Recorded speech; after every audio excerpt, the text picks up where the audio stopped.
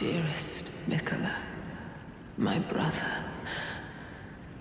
I'm sorry. I finally met my match.